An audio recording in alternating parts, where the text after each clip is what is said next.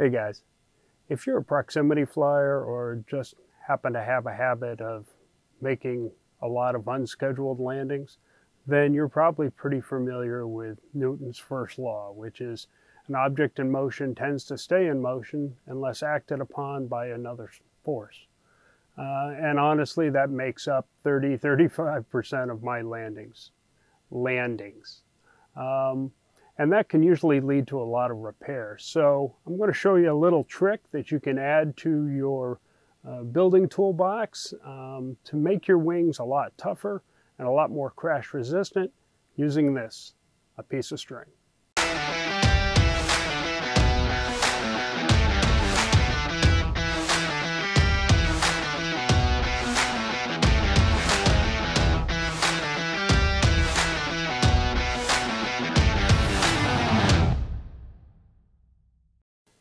I bet you guys are wondering how it is that we're going to make our wings a lot stronger and a lot more crash resistant using just this piece of string.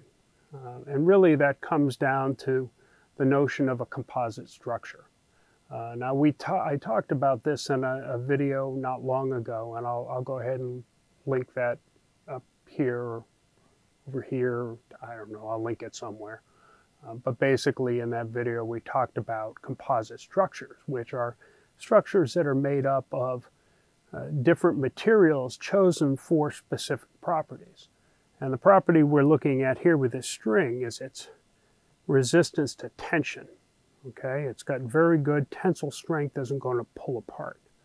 Uh, this is a trick that I learned from Lee at Crash Test Hobbies and Ruben uh, over at Sweep Wings back when I was starting to uh, first build wings. And I tell you, it really has uh, gone a long way to minimizing the damage in a lot of my builds. So we'll go ahead and take a look at what's happening in a crash and how this is going to help us. And then uh, we'll go through and I'll show you how to install a shock cord. Let's take a look at the forces at play here. We're cruising along in our wing. Let's turn this around and make it a little more realistic. Okay, so now we're cruising along in this direction and suddenly something like the ground jumps out in front of us. Now the plane is going to, wing is going to come to a sudden stop. And obviously we're going to have a lot of stress right here at the front where we've made contact with the ground. That stopped rather suddenly. However, the wingtips have not stopped. Out here on the wingtips, we have a lot of objects that have a lot of weight, have a lot of mass. So we have our, our winglets and our elevons, our servos and linkages all having mass. And they really haven't stopped at this point. Uh, so they, the mass wants to continue towards the ground. And what that's going to do is it's going to create a lot of stress right back here at this section of the wing. And where we have these corners where we've cut out for our motor and prop, we're really going to concentrate a lot of that stress right in those corners, which is going to lead to a crack. So that's one place where we can use our shock cord to help eliminate or minimize some of that cracking. In fact, here, if we take a look at a stress diagram of a wing uh, with the forces applied, you can see right here at the nose we have a lot of stress concentration, but look back here where we have our cutout for our motor and prop, we have a very high stress concentration. And that's what is leading to all that cracking. Okay, let's take a look at another scenario. Flying along and we've got this pole that jumps out in front of us or a scraggle or some ghost branch we didn't see and hits right in the middle of the wing. And we've got a point concentration of stress that's just going to open up a hole in the front of that leading edge and just going to bury that stick or branch or pole right in the wing. But now if we take a look at that with our shock cord installed, you'll see that when we hit, we've got that concentrated stress. When that shock cord picks up that stress, it's going to help distribute that load across the whole face of the wing and really minimize, minimize that point stress. Okay guys, what we're going to do is we're going to embed this string uh, around the outside and create what's called a, a shock cord. Okay, um, and there's a couple of different ways to do it, and uh, we'll go through that. So the first thing you're going to need is some string, obviously. Um, there's lots of different types of string. I'm not sure that uh, you could probably use just about anything you want. Um, make sure that it's got good tensile strength though. Um, I think Crash, I'm not sure what Crash Test Hobbies used uh, in their videos. I know Ruben likes to use um, a cotton string. Um, but this is, uh, this is contractor string or layout string or mason string. You can get this at Home Depot or Lowe's or any hardware store. Um, I think it's a, it's a poly, it's not a cotton. Uh, one thing I like about this is that it has, in a longer length, it has a little bit of give to it.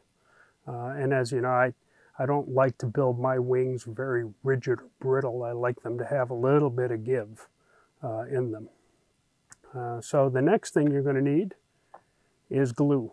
And I like to use white Gorilla Glue, but I know Crash Test Hobbies uses a, a mixture of CA and baking soda. Um, I like this because it foams up and fills the gaps uh, and has, you know, a little give to it. Uh, the other thing you're going to need is a good sharp knife. Actually, let's bring out the big guns for this one. And uh, you're going to need a Phillips head screwdriver, something that you can use to push that string down in with. And of course, you're going to need your wing and this is my Defiant 28 stand-in here. This is a stunt double. These are some thin cores um, that I glued together in the shape of a 28 for this demonstration. You uh, thin airfoil guys, keep an eye out. So basically what we're going to start to do here, at the point you want to do this is once you've got your cores glued together, I usually do it uh, after I have my spars in. Um, so I've got a good, a good rigid wing. And what you're going to do is you're going to take your knife and you're going to cut along the very front leading edge, right in the middle of the leading edge airfoil, okay? Now, let's talk about where we're going to put the string. If you look at Crash Test Hobbies, uh, they ended up running the string all the way around the wing around the back and tied it uh, in the front at the nose and then glued it in. And that works well if you've got a wing that doesn't have a lot of cutouts. So most of my wings generally have a cutout for a camera mount, maybe a cutout in the back for a motor mount. So what I like to do is I like to run my string across the leading edge and I'll cut around the side here and bring it along the side of the wing. Okay, so that's going to give me um, good development length. And, and, development length is a, is a structural term uh, in concrete, but basically it means that there's enough length that I'm going to get a good strong bond that the string's not going to pull out, um, pull out of, of the foam and pull out of the glue. So usually I'll come all the way around, come up the side, glue it in the side. Now if you have a camera mount, like cut out for a camera mount like I do, then what I'm also going to do is I'm going to run that cut all the way in here, wrap it around the nose and back down the sides here to give me a little more development length here. Here in the back, there's a couple of different things we can do. Normally what I like to do is run my string across the back here and then up the sides where we have this little cutout in the back here. Um, this is a very important area because uh, as we saw, we can get some very high concentration of stress right here in these little corners and then we end up with those horrible cracks that most of us have, uh, have witnessed. Um, I tend not to run my string all the way up here in the smaller um, smaller wings because in something like a 28 where you know, the trailing edge is very thin, it's hard to get that string cut in there. And I think that with the elevons on here uh, and the either Um, and a laminate hinge or a, or a goop hinge is going to give you a lot of reinforcing in this area. So I tend not to run them through here. Um, one thing to note is that if you do run LEDs, maybe in your sides here, make sure that you get your string deep enough so that you can embed your LEDs uh, without running into that string. So let's go ahead and take a look at what that looks like. I'm just going to take this knife and I'm just going to cut. What I like to do is I like to cut down about a good quarter of an inch and that lets me put the glue in and the string in and then it allows the foam to close back over that so that you don't get a lot of distortion and a big gap up in the front um, of your airfoil. So we'll just, really doesn't take that long. This is kind of the easy part. And, and really you want to go right down the middle of the leading edge because I have my stunt double here. I don't really have a leading edge, so I'm just going to buzz through this pretty quickly. And again, here in the back,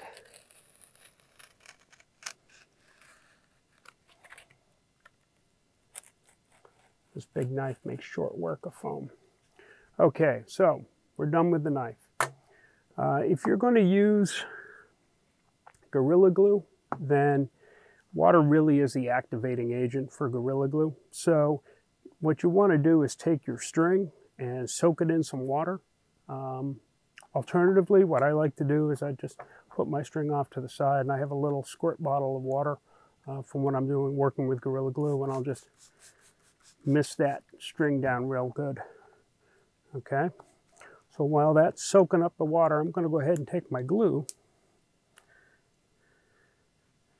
Nice fresh bottle here. And I'm just going to lay the glue right down all the way around.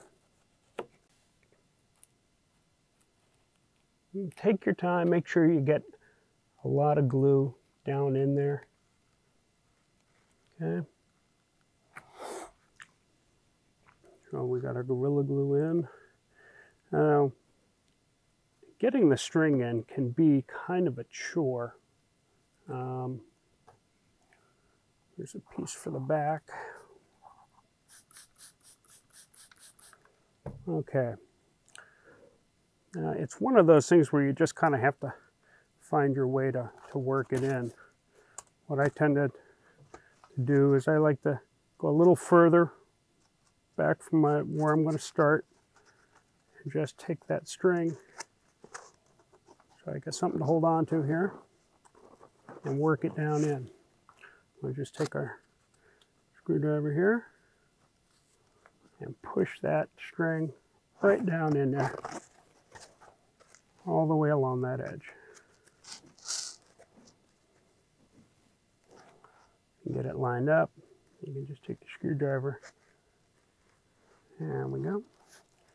Just run that right down in there. Okay.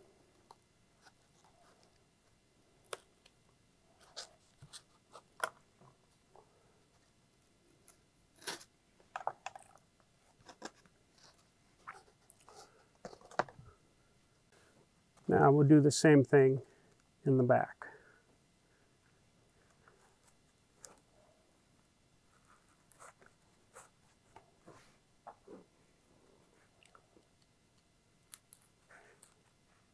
Now, the string you choose really, something like this works well for something in the size of, say, a 28, 30 inch wing, all the way up to, you know, a 60 inch wing. If you're going to use something, a smaller wing, you know, something like maybe one of my sprites or something like that, then I'd suggest using something more like a, a good high quality kite string.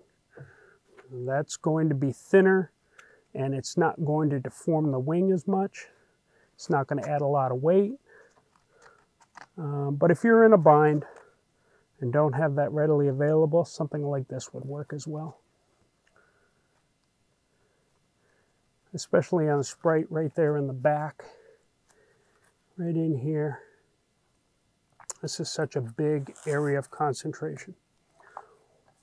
Okay, so then once you have your string all embedded, uh, what I like to do is either um, if you have any areas that have some good sized gaps in them maybe where you ran through, uh, go ahead and stick some T-pins in. Uh, or the other thing you can do is use some of this green masking tape, which is uh, Scotch masking tape made for uh, brick and concrete. And then just put it every so, ever so often, just around the front of your wing, just to make sure that that gap closes up nice. The other thing you can do, um, like I said, is uh, T-pins. If you have some T-pins laying around, those work pretty good for stitching everything back together. And that is pretty much it. Okay, just uh, go ahead and let that glue dry. And what's going to happen is that white Gorilla Glue is going to squirt out a little bit.